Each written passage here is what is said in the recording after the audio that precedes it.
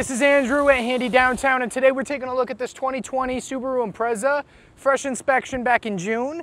As we can see here, we got a nice set of two-tone wheels on there, nice set of rubber as well. Just gonna take a quick walk all the way around it, take a good look. We got the roof rack up top. This car does come equipped with heated mirrors, backup camera, Got the heated rear window there. As I mentioned, the two-tone wheels, nice, nice set of Continental tires on there. Fog lights in the front. And of course that big Subaru badge that's very famous. Uh, coming around over here, we'll take a look inside.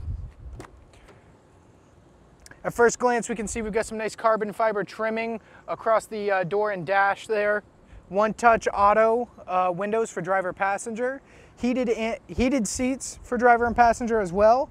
Bluetooth, Apple CarPlay, many other great features in this vehicle as well. Taking a look right here in the rear, uh, once again you get that carbon fiber trimming, uh, pretty basic rear seat here being a uh, four door hatchback. However, these seats